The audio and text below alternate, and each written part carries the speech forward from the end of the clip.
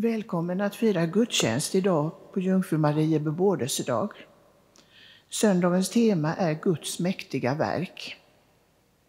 Välkommen till er som är här och till ni som följer oss via radio och tv-utsändning.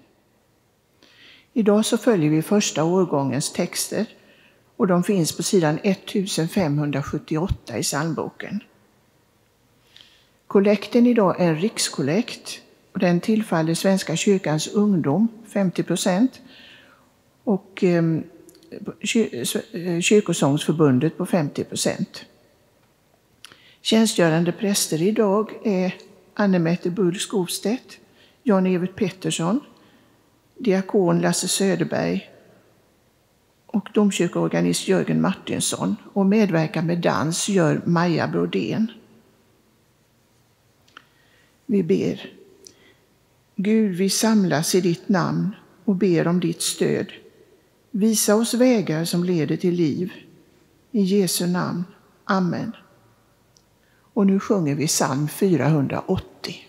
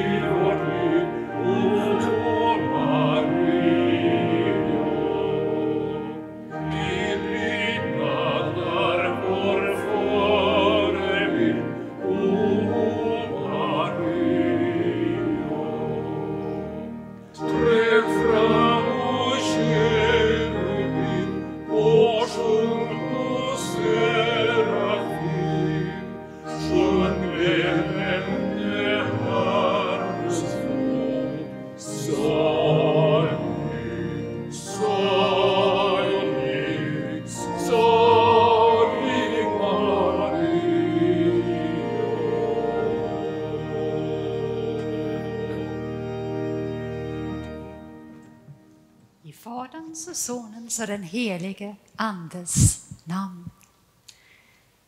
Vi får fira Maria bebådelsedag. Vi får fira att Maria inte bara bar på sorg och smärta och oro och rädsla, men även på Guds mäktiga verk, på glädje, på hopp på förtröstan och på ett litet levande mirakel, ett litet barn. På grund av Maria, ja då kan vi idag, 2000 år senare, i tillit till Guds löften i dopet om gemenskap med Jesus Kristus, vända oss till Gud och be vårt Kyrie.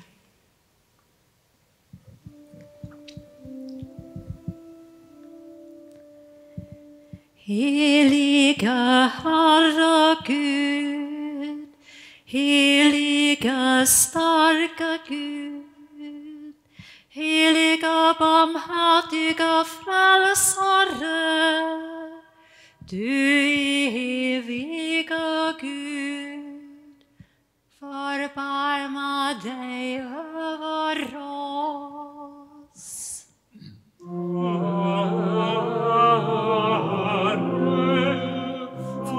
Ära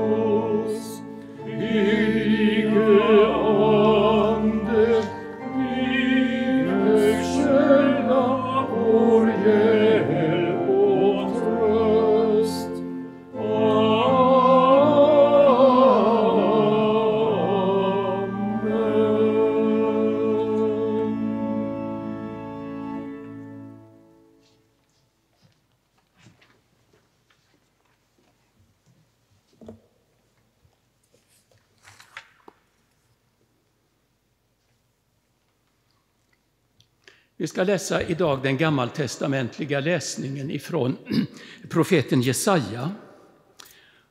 Och den texten kommer ifrån en stormig tid i, i Israels rike.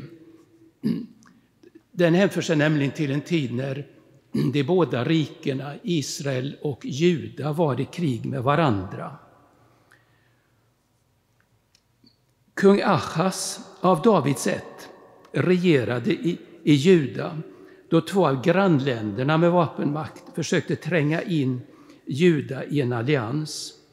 Och profeten Jes- Jesaja han kom då till, kung, till kungen med en hälsning från Gud att Juda inte behövde frukta.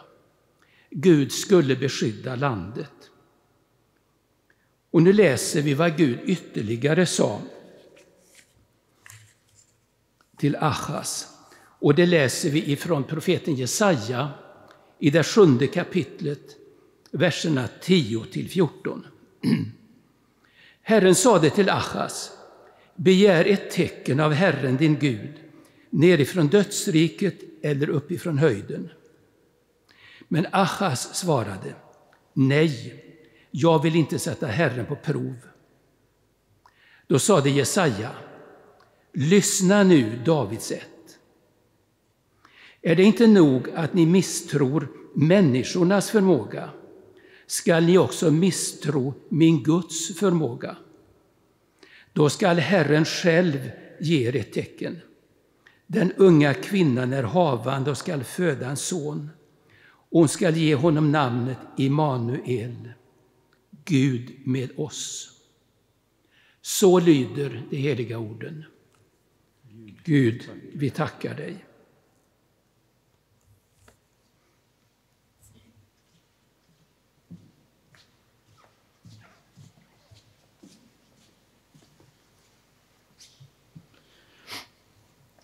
Att Jesus lät sig födas som människa gjorde oss fria från syndens och dödens lag. Så här säger Paulus om detta i Romarbrevet 8 kapitel, verserna 1-4. Nu blir det alltså ingen fällande dom för dem som tillhör Kristus Jesus. Ty den andliga lag som gäller för livet i Kristus Jesus har gjort mig fri från syndens och dödens lag. Det som lagen inte kunde göra eftersom den kom till korta inför vår kötsliga natur, det gjorde Gud. Då han lät sin egen son bli lik en syndfull människa och sände honom som ett syndaoffer, dömde han synden i människan.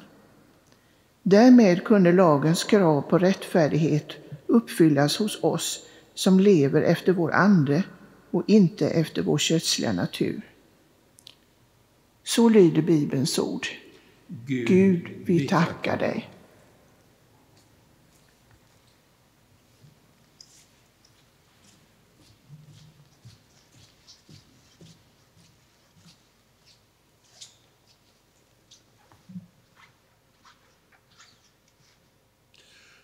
Jag vill åsjunga Herren och prisa hans heliga namn. Min själ prisar Herrens storhet innan de jublar över Gud, min frälsare. Han har vänt sin blick till sin ringa tjänarinna.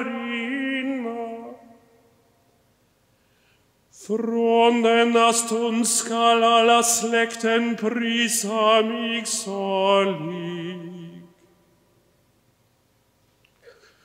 Sturat in Lothar den mächtige Schimmet mich. Hans nam erhelicht. O kans verbarmande med dem Som fructar honom varar från släkte till släkte. Jag vill lovsjunga Herren och prisa hans heliga namn. Hanjar mäktiga Werk mit sin Arm, Han skingrar dem som har övermodiga planer. Han störtar härskare från deras troner. O canopae erderinga, Ungrigam taram et synagovor, Orica scicaram tum entabot, Antar sigans in scena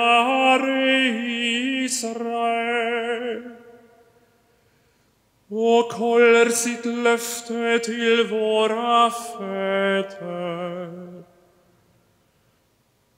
At förbarma sig över Abraham och hans barn till evig tid.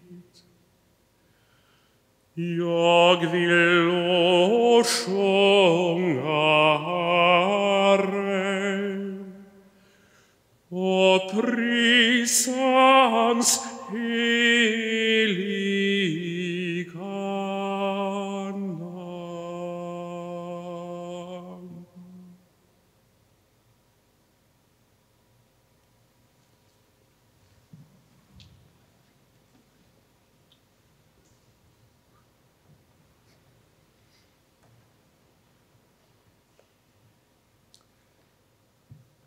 Vi får öppna våra hjärtan för Gud och lyssna till evangeliet på Jungfru Maria bebådelsedag.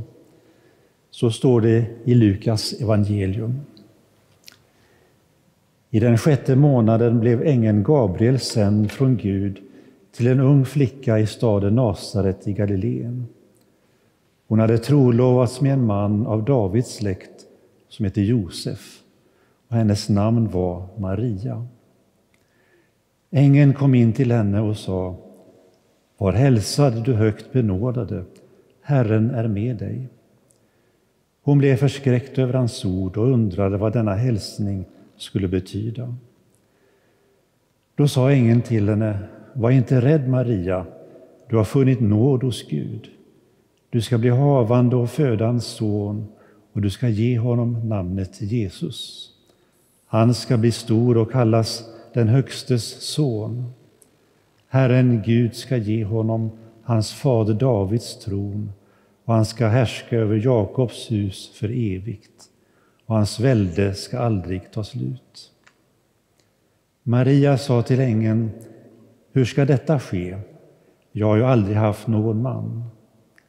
Men ängeln svarade henne, helig ande ska komma över dig och den Högstes kraft ska vila över dig. Därför skall barnet kallas heligt och Guds son. Elisabet, din släkting, väntar också en son, nu på sin ålderdom. Hon som sades vara fruktsam, ofruktsam är nu i sjätte månaden, ty ingenting är omöjligt för Gud. Maria sa, jag är Herrens tjänarinna, må det ske med mig som du har sagt. Och ängeln lämnade henne. Så lyder det heliga evangeliet. Lovad vare du, Kristus.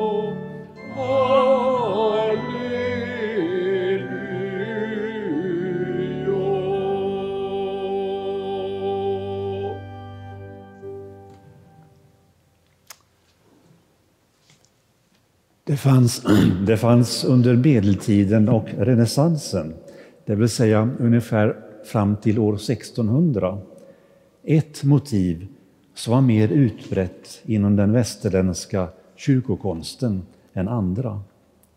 Och det var det som den här dagen handlar om, Marie bebådelse.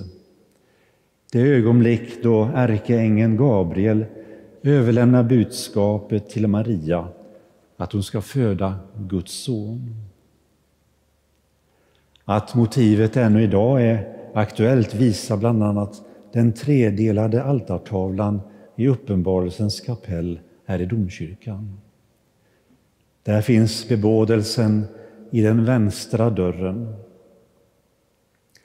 Och fastän det idag finns andra motiv och teman inom konsten så är de bibliska scenerna alltid aktuella. Och när det gäller Marie bebådelse handlar det om att Gud vill komma till oss människor så nära det bara går. Det är därför han blir människa. Och därför får Maria uppdraget att föda Guds enfödde son till världen. Det är vad vi kallar för inkarnationens mysterium, då Gud blir människa. Här i Domkyrkan har vi under mars månad en utställning av Lars Björklund med titeln En oväntad början. Man skulle faktiskt kunna sätta den titeln på det som händer i kyrkan idag på bebådelsedagen. Då Maria får sitt uppdrag att föda Jesus. För visst måste det ha varit i allra högsta grad oväntat det som hände för henne. Hon sitter där i flickrummet i Nasaret och plötsligt står det en ängel framför henne. Och ängeln meddelar att hon ska få barn. Maria hon blir minst sagt konfunderad och säger att hon har ju inte haft någon man. Men ängeln beskriver för henne vad detta barn ska komma att betyda för många människor. Och Maria svarar då med de viktiga orden. Jag är Herrens tjänarinna. Må det ske med mig som du har sagt. En oväntad början har för Maria förbytts i något helt nytt. Ett uppdrag som är så stort att hon nog inte kunde förstå det till fullo, åtminstone inte just då. Det är stort nog att vänta barn. Nu var det något mer. Ängeln säger, till, eh, till, eh, säger att Elisabet, Marias släkting, också väntar barn och att hon är i sjätte månaden. Och Det gör att Maria företar en resa till Elisabet så småningom och till Sakarias. Och där stannar hon en tid och de börjar ana att det är något särskilt både med Marias barn och med Elisabet och Sakarias barn. Han som senare fick namnet Johannes. Att få vara med om att detta ledde för Marias del till stor glädje. Och hon sjunger det magnifikat som vi var med om för en stund sedan i dansens och sångens gestaltning. Det som också kallas för Marias lovsång. Min själ prisar Herrens storhet. Ja, Marias ja är så viktigt, men kanske ändå inte avgörande. Men ändå så är hennes ja en förebild och ett mönster för enskilda kristna och för kyrkan som helhet. Marias ja är det viktigaste ja som sagts, men sades för att det skulle följas av ännu fler ja ifrån oss. Fler människor som skulle vara lika beredvilliga som hon var. Hon som fick en utmaning att anta ett uppdrag och som ställde upp. Ja, visst var det en oväntad början. Det som för Maria var en helt vanlig dag blev till något så stort att vare sig hon eller vi riktigt kan omfatta det. För hur kan man förstå, hur kan man ta till sig detta att Gud blir människa, blir en av oss? I det som inte syns, inte känns, inte märks. I det lilla, där börjar Gud. Alla har vi det gemensamt att vi från början var nästan ingenting. Det är Ett under varje gång en människa blir till. Ett Guds under och samtidigt något ganska vanligt. Det slår mig varje gång jag träffar föräldrar inför dopet. Har allting gått bra? brukar jag fråga. Och så gott som alla säger att allting har gått så bra. Vi är så tacksamma. Om man hade frågat Maria samma sak hade hon nog sagt allt är bra. Jag ska bara föda Guds son. Det är detta lilla, det som är en oväntad början, som vi firar idag. Något alldeles vanligt, men ändå helt ovanligt. Ur denna händelse hos Maria växer det i kyrkan en helt ny värld. Inte hade man kunnat ana att det var så världen skulle frälsas. Inte anade Maria att det skulle vara något mer än den kärlek hon skulle hysa till sitt barn. Det har funnits många funderingar och tankar om Maria efter den här händelsen och andra som följde. Var det något särskilt med Maria? Redan på 400-talet så fastställde man att Maria är gudaföderska. Maria är en person som många människor, män och kvinnor, ser upp till som en förebild. Kanske vi kan märka det i många andra kyrkor mer än i vår. Men det är någonting som kommer även hos oss. Maria tar en allt större plats och blir viktigare. Och vi får ta till oss Marias fromhet och hennes beredvillighet att både ta emot budskapet och vilja att bära Kristus vidare ut bland människorna. För hon är verkligen en Kristusbärare. Maria är också urbilden för kyrkan. Kristi kyrka är Kristus ibland oss, men också Maria ibland oss. Maria är den som bryter det vanliga, det som alltid sker och som är förutsägbart. Jag hörde en gång en konstnär som sa att det finns konst som är som kompgitarrer, som bara spelar ackord. Det händer inte så mycket intressant hur skicklig gitarristen än är. Det är först när man lägger till andra instrument, sologitarr, trummor, blås och röster som det blir intressant. I konstverket handlar det om att få in ljus så att det blir skuggor som gör motivet levande. Det kan också handla om färger. Och så är det ju i livet.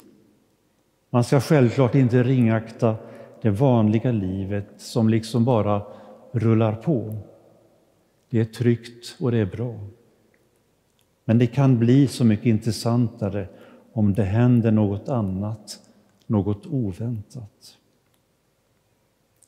För Maria var en oväntad början på en resa som slutade vid korset. Hon älskade sin son, lämnade honom inte fastän det var svåra stunder. Hon bar honom och som sådan är hon vår och kyrkans förebild. Ja, Maria hon sjöng sin lovsång och sjunger den än idag och vill att vi ska göra den till vår. Min själ prisar Herrens storhet. Han har vänt sin blick till sin ringa tjänarinna och från denna stund ska alla släkten prisa mig salig.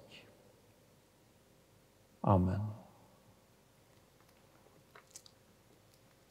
Vi får nu tillsammans stämma in i kyrkans bekännelse. Vi tror på Gud Fader allsmäktig, himmelens och jordens skapare. Vi tror också på Jesus Kristus, hans enfödde Son, vår Herre, vilken är avlad av den heliga Ande, född av jungfrun Maria, pinad under Pontius Pilatus, korsfäst, död och begraven, nederstigen till dödsriket, på tredje dagen uppstånden igen ifrån de döda, uppstigen till himmelen, sittande på allsmäktig Gud Faders högra sida, därifrån igenkommande till att döma levande och döda.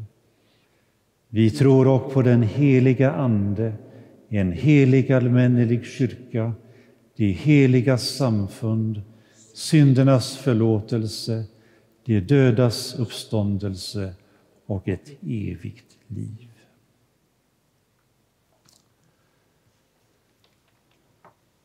Så sjunger vi salmen 481 om Marias sånger.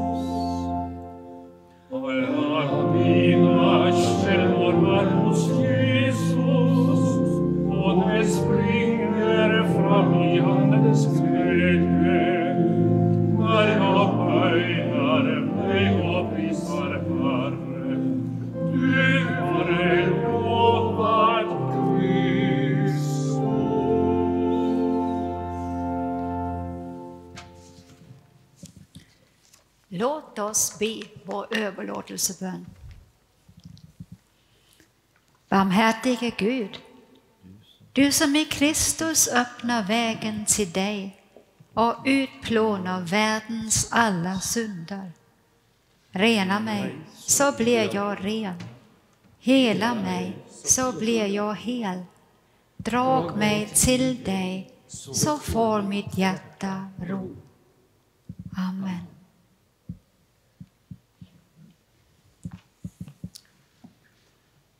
Gud, du som utvalde Maria att göra dina mäktiga verk möjliga genom Jesus. Tack för att du hör vår bön och möter oss med kärlek.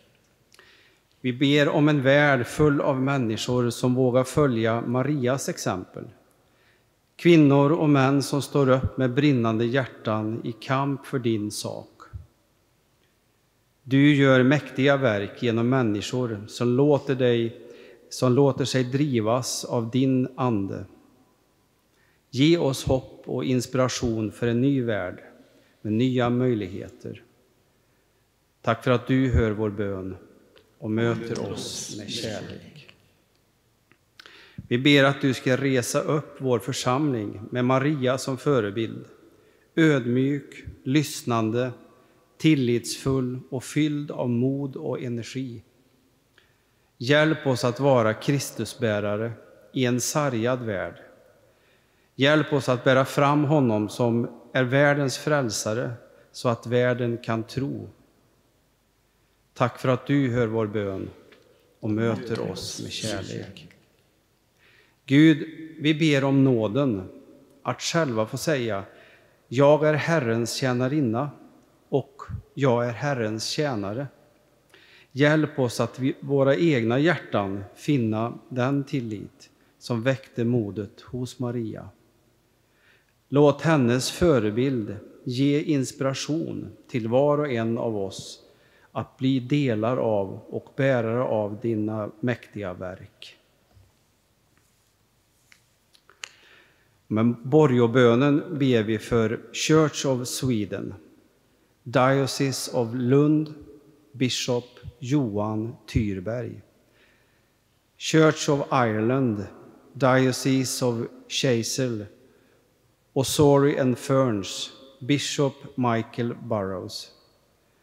Church of England, Diocese of Ely, Bishop Stephen Conway, Bishop Dagmar Winter. Tack för att du hör vår bön och möter oss med kärlek. Gud, din nåd bär i liv och död. Vi minns och tackar för dem i vår församling som genom döden tagits ifrån oss. Vi ber för Anne Märta Andreasson som gått bort i en ålder av 67 år, Noll månader och fem dagar. Börje Johan Asp i en ålder av 84 år, 10 månader och 19 dagar. Hans Öjan Bjurenhed i en ålder av 79 år, en månad och 23 dagar. Ingrid Maria Marita Doverstrand i en ålder av 78 år, 11 månader och 26 dagar. Jan Olof Elov i en ålder av 83 år, 11 månader och fem dagar. Bengt Ola Halvarsson i en ålder av 61 år, 11 månader och 30 dagar. John Henrik Hermansson i en ålder av 92 år, 9 månader och 17 dagar. Valma Huta, i en ålder av 81 år, 3 månader och 23 dagar. Kjell Rickard Johansson i en ålder av 46 år, 2 månader och 21 dagar. Inga Maj Karlsson i en ålder av 77 år, nio månader och 13 dagar. Eva Margareta Lind i en ålder av 66 år, två månader och 24 dagar. Etel Gunborg Lindberg i en ålder av 91 år, nio månader och tre dagar. Tora Filip Georg Lövgren i en ålder av 92 år, sju månader och två dagar. Hillevi Olsson i en ålder av 99 år och fem månader. Hasse Axel Edvard Olsson i en ålder av 91 år, sju månader och 18 dagar. Och Kristoffer Erik Sonesson i en ålder av 33 år, 11 månader och tre dagar.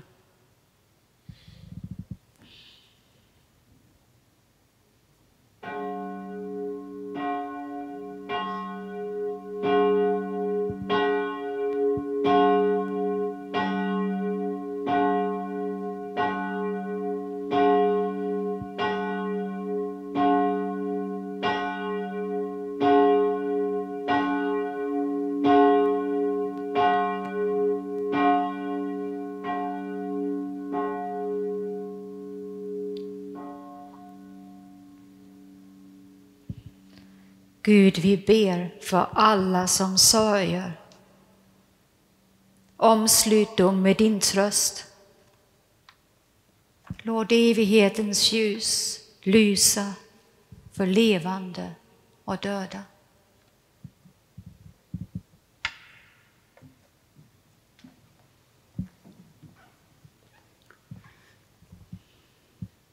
Lovad vare du som kan hela det söndrade och återupprätta den gemenskap som brustit.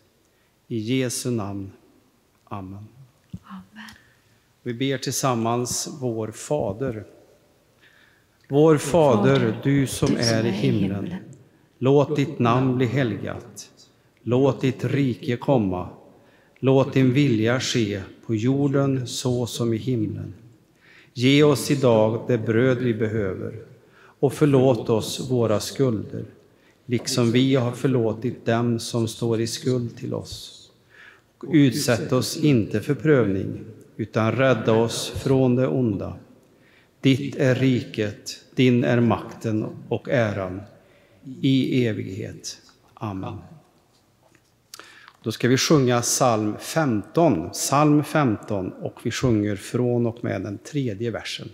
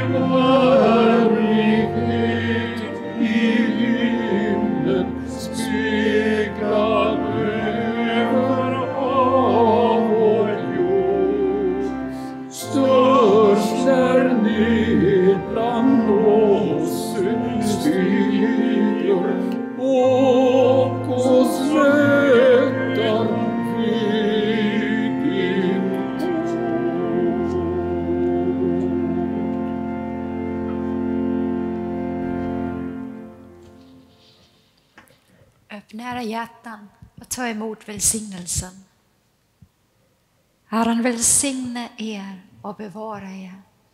Herren låter sitt ansikte lysa över er och vara er nådig. Herren vände sitt ansikte till er och giver frid.